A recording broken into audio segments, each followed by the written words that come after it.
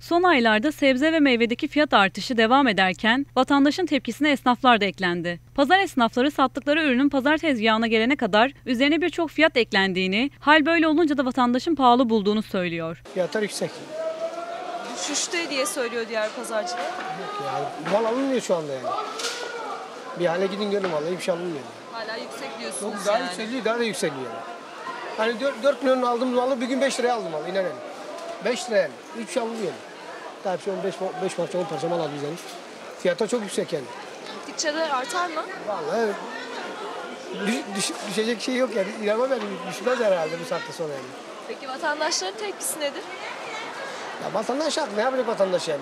Vatandaş yani ben Allah sonumuzu ayırsın ama. Normal ol- olmasına rağmen pazar çıkışları, girişleri maliyetlerimiz yüksek oluyor. Ee, işgaliye veriyoruz. Oda parası veriyoruz, yer parası veriyoruz. Günlük ancak yevmiyemizi, karnımızı doyurmaya ancak şey yapabiliyoruz yani.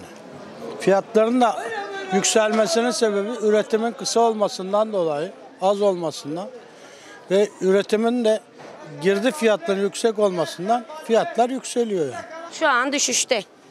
Şu an düşmüş gibi. E, domates 5 lira. E, mantar, e, bahar 6 lira, 7 lira. Hani düştü havalara da bağlı tabii. Enflasyon düşüyor yani yavaş yavaş düşüyor. Herkes bir parça ekmek alsın yani. Herkes yesin. Sigortalı çalışan da, normal günlük çalışan da herkes yesin.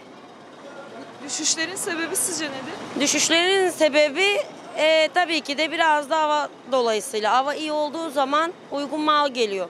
Hava kötü olduğu zaman, kar buz olduğu zaman e, yükseliyor mallar ister istemiyor. Buzdolabı geçen hafta biz bütün mallarımızı çöpe attık. Buzlanma dolayını.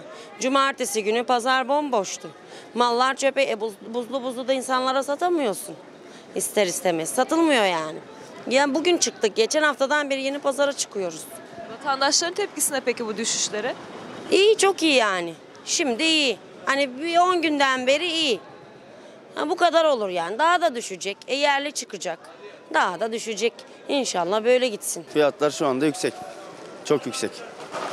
Yüksek olmasının sebebi nedir peki?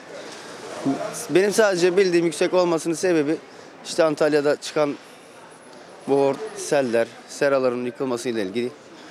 Öyle yani. Nasıl peki fiyatlar kaç lira? Yani şu anda marulun gelişi bize 5 lira. Bu sabah 35 liraya kasasını aldım. Ve gerçekten de misal kapsı mal gönderiyor halciye. Bir zarf bunu diyor bu paradan diyor aşağı yazma. 32 liraya Antalya'dan İstanbul'a mal gönderildi bugün. Biz de 35 liraya aldık. Yani bugünkü gelen marulun tanesi bana 6 lira. Pazar tezgahlarında bu hafta özellikle sebze meyvede fiyatların diğer haftalardan farklı olmadığı gözlenirken vatandaşlar ise alım güçlerinin her gün azaldığından yakındı. Fiyatları nasıl buluyorsunuz? Fiyatlar çok yüksek. Bir emekli için zor yani geçimi. Çok fazla e, yüksek bence. Bir aile mesela kalabalık bir aileye geçinemez emekli maaşınla. Pazarda ne kadar harcıyorsunuz çıktığınızda? Pazarda 50 liradan aşağı olmuyor. O da içinde ne et var, ne yağ var, ne bir şey var.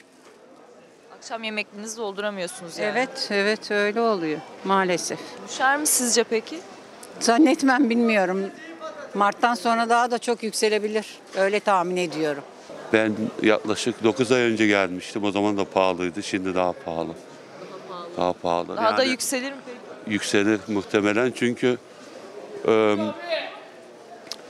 şöyle söyleyeyim ben e, buranın Türkiye'deki şartlara karşı kıyaslıyorum. O bakımdan zor yani. Nereden geldiniz peki Türkiye'ye? Köln'den. Orada Köln'den. Nasıl yani kıyaslayınca Türkiye ile başka ülkeler arası? Valla orada birazcık daha uygun gibi. Birazcık daha uygun. Türkiye'de hayat şartları daha zor.